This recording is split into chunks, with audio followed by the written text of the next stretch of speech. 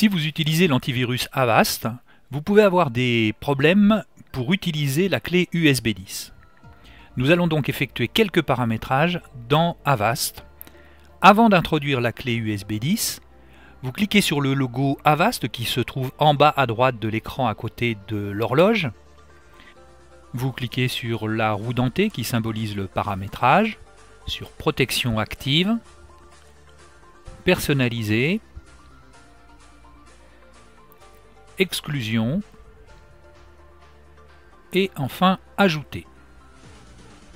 Vous allez cocher les cases L, E et X et écrire ici en bas étoile, barre oblique inversée, data avec un D majuscule, barre oblique inversée, étoile. Et sachez que pour faire une barre oblique inversée, vous appuyez simultanément sur la touche Alt et 8. Voilà ce que vous devez obtenir. Vous cliquez sur OK, à nouveau sur OK, et vous fermez la fenêtre en cliquant sur la petite croix qui se trouve en haut à droite.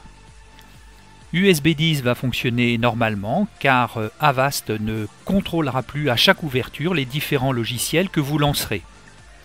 Vous pouvez maintenant introduire la clé ou la carte SD et lancer la barre d'outils et les logiciels qu'elle contient.